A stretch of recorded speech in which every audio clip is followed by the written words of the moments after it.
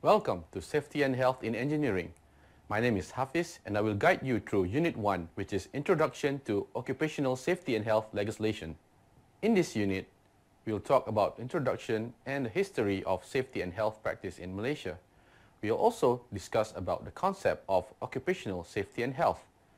And then we're going to discuss about the importance of workplace safety followed by the legislative framework.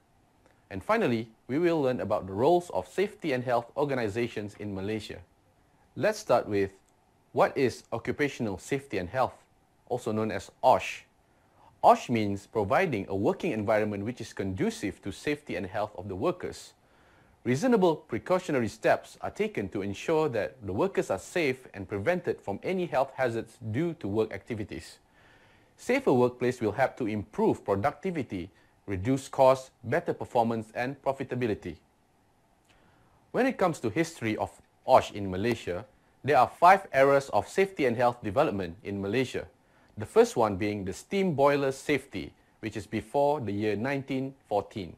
Next is the machinery safety, which is 1914 until 1952, followed by the industrial safety, which is 1953 until 1967, and then industrial safety and hygiene, which is 1970 until 1994, and finally the occupational safety and health era, which is the year 1994 onwards until now. Let's start with the steam boiler safety era before 1914.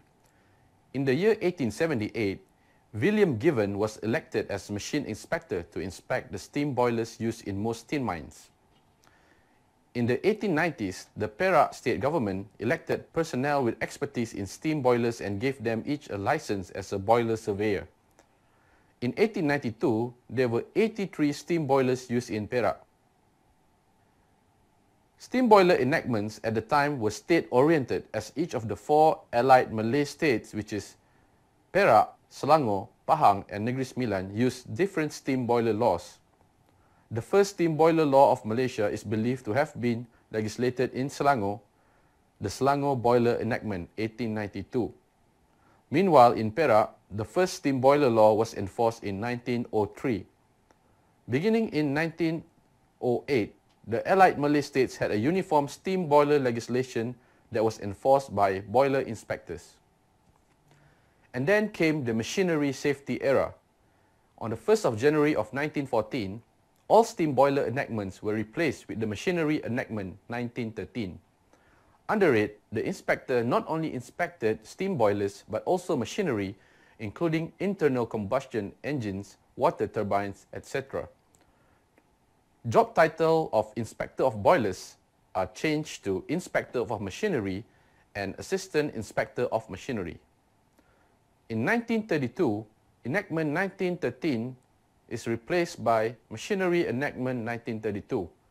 Inspection, registration and installation inspection was enforced.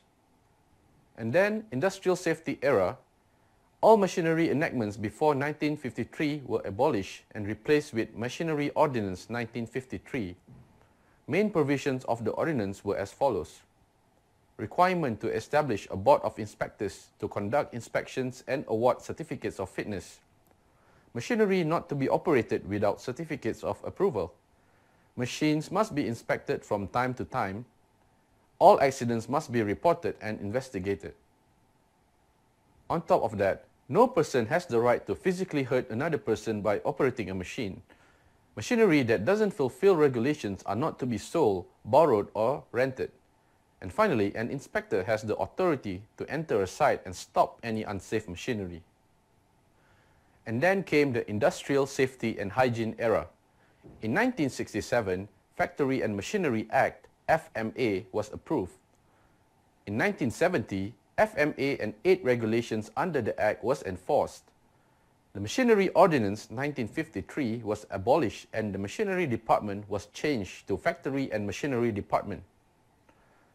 This was enforced in Peninsular Malaysia only until 1980 when it was enforced in Sabah and Sarawak as well.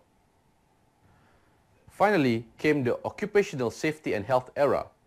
Occupational Safety and Health Act, also known as OSHA, was enacted in 1994 due to shortcomings of the FMA 1967 which covered OSH in some industries only. FMA 1967 covered 24% of the total nation's workforce in the country, while OSHA 1994 covers 90%, excluding people working on ships and armed forces. The purpose of OSHA 1994 is to promote and encourage occupational safety and health awareness among workers and to create organizations with effective safety and health measures. The Act contains 15 sections, supersedes any conflict in existing OSH laws such as FMA 1967. That's it for this time. In the next topic, we will go and talk about the concept of occupational safety and health. See you next time.